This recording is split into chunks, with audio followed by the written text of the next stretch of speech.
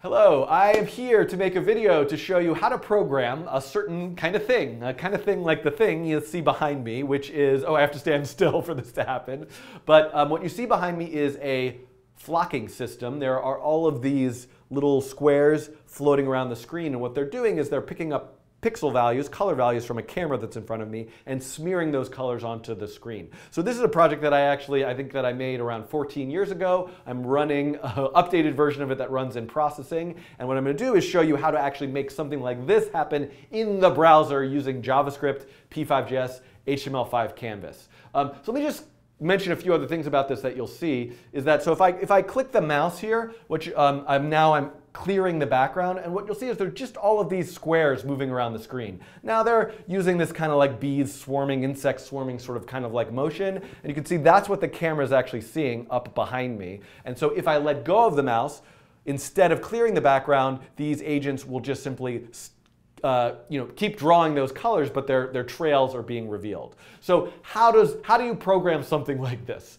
Let's, so I'm going to close this down. I, um, and I'm going to minimize processing here. And I've got a P5JS example that I'm going to start with. And the example just has a couple things. It has a live video, and it has a single particle. Now this particle comes from a previous video that I will magically have an annotation pop up that references where I showed you how to have something move around the screen and draw a trail of itself. And you can see here, and it's going to move randomly. So the, uh, you know, in the swarming thing, they're swarming like insects. Here, it's just going to move randomly. But if you decide to take this example and do something with it, you might think of different kinds of motion, spiral, et cetera, whatever that you might think of doing. So let me run this particular example right here. And you can see this is all it is. You can see that there is a video DOM element giving me a sort of low resolution image of myself that I can use to pick up pixel colors. And there is a thing moving around the screen randomly, a single particle.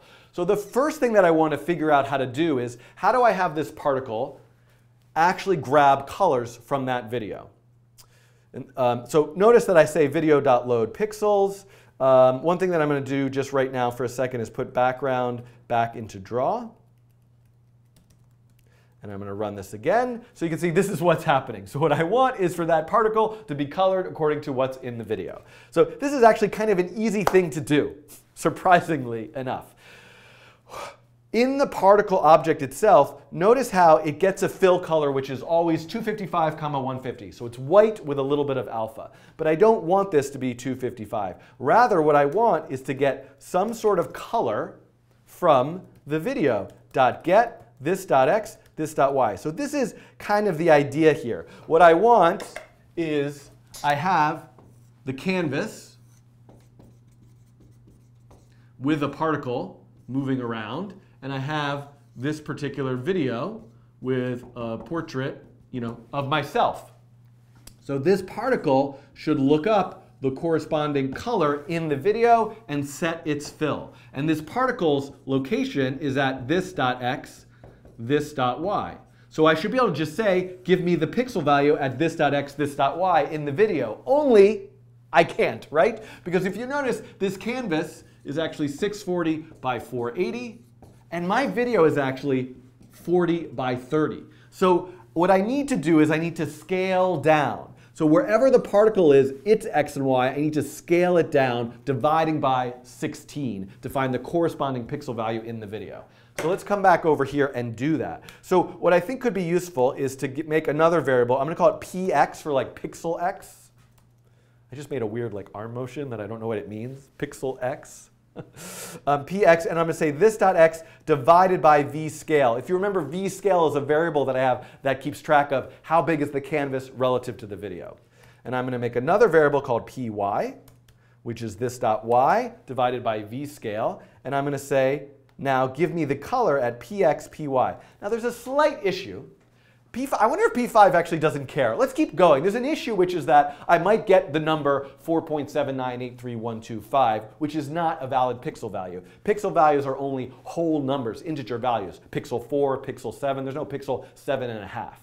So I might need to add something to this to correct that, but let's just sort of see at least what happens. Now, what is in this variable COL? Let's just see if this even works. And I'm going to, I'm going to add console.log the color. And I'm, by the way, I'm not using the word color Even though I have a variable that's describing a color, color, the word color is a keyword in P5. It's an actual function, so I'm just saying COL for kind of short for color. So let's now go back and run this again. We have a view of our console here. We can see I'm only ever getting black. That doesn't seem right. I don't think it should be black. Uh, 00255. So let's go and let's add this thing that I want to add, which maybe will fix it, saying floor. So what floor does is it takes any number that might be a decimal number and lops off that decimal number. So 3.8 becomes 3, 3.3 becomes 3, 3.9 becomes 3, 7.2 becomes 7. Just takes that and gives me a nice integer whole number, which is what I need. And let's run this again. Still getting only black here. Oh, no, there we go. Just took a minute for the video to like come alive. So you can see this is working and that it's pulling out color values. You can see they're all very green because it's probably wandering around the green screen behind me. So what can I do now? I should be able to say, and notice by the way that this is an array. So the get function gives you a single pixel and it gives you an array, a red, green, blue, and alpha value.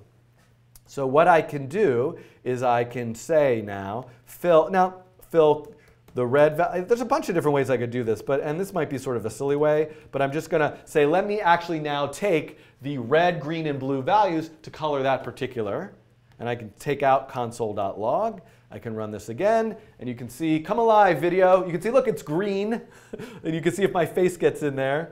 There we go, it's picking up colors. So good, we're getting somewhere. Now, let's go back to sketch.js. Let's put, let's take out background in draw and put background back in setup.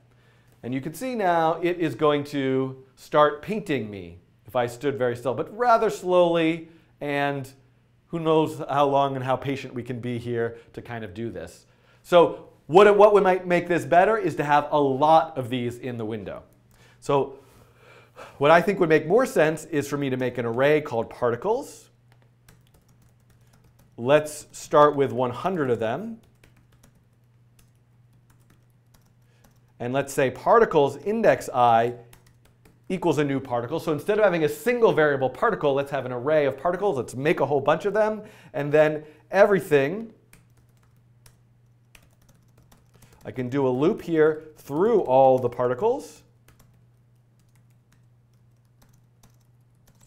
And just say particles index i, update particles index i, show, and now I can run this again, and we can see, there we go, as I move around, you can see I'm kind of getting this like very pointillist like portrait of myself. Now there is no swarming, there is no flocking, it's just random motion. Also these particles, they're leaving the window, they're gone forever. Let's see if we can just make a few improvements to this, at least to keep it a bit more stable. So one thing that I think is kind of important here, um, and might be worth, it might be worth actually making like a little slider for this. I'm gonna add a slider uh, is that that alpha value is going to make a big difference in uh, what it looks like. So alpha goes between 0 and 255. Let's start in the middle at 127. And so I'm going to make a slider, and then I'm just going to take this alpha value, alpha value and have it be the value of that slider. So we can sort of see what happens here with like less alpha, you know, no alpha, like uh, less, more alpha. I don't. What is it? You can get that. So it's fuzzier or harsher. So that's one thing that's sort of important to see. The other thing that I think might be good to do is add some kind of constraints like uh, this dot x equals constrain its value between 0 and width. I could probably come up with a better solution. this dot y, 0 dot height. So I don't ever want it to leave the window. Um, so I want to keep it always on in the window. And so we can see now, uh, and they're all starting from the middle. Maybe I should, maybe I want to have them all start from, uh, you know, a random spot in the window. Just, uh, so let's do that.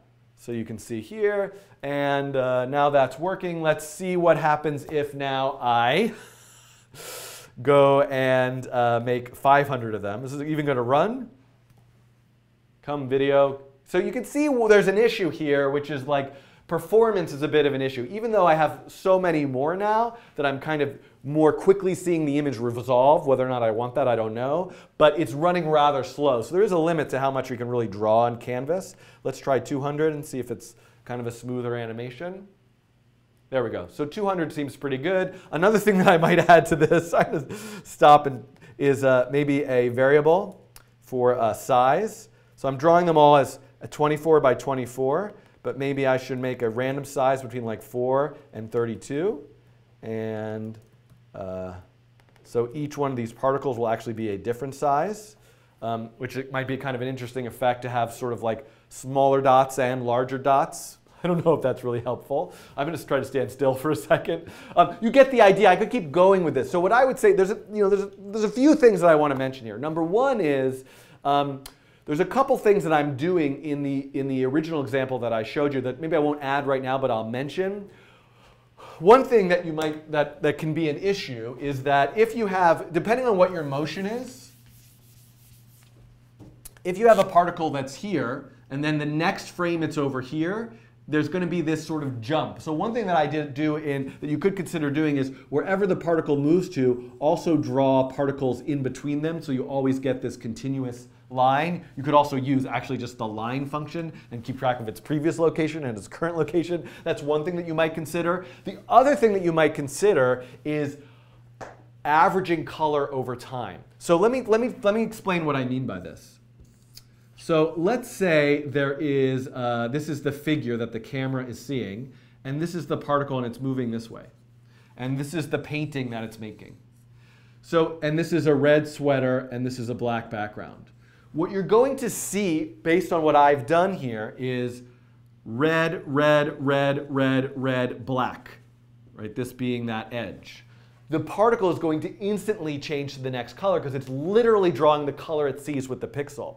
But if every time it moves, you just average in a little more color, then that creates a smearing effect. So what you would see instead is red, red, red, red, red, a little less red, a little less red, a little less red, blacker, blacker, blacker, blacker, blacker, blacker, black, black, black, red, a little more red. So it's going to average the color as it's moving. So in order to do that, what you would need is for your particle object to actually store a color. And when you get the color from the video, to average that new color with the color that it's storing. So I'll leave that as an exercise. Maybe I'll try to post an example that does that. There's actually a P5 function called lerp color that will do this math of averaging for you that you could look at using. Uh, boy, I really kind of want to add it right now, but I'm not going to.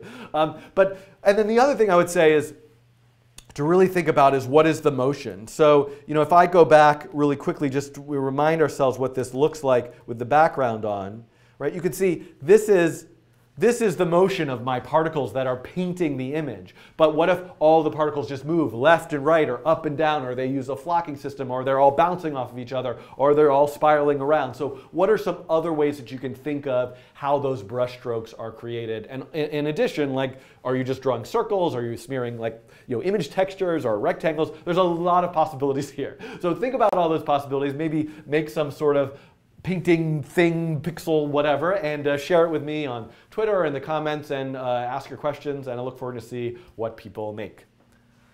Under 50 minutes, thank goodness. Okay,